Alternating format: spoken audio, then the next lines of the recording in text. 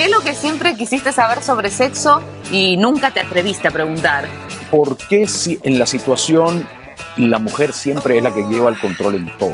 Mi marido me lo dice todas las noches. Pero qué suerte tiene tu marido.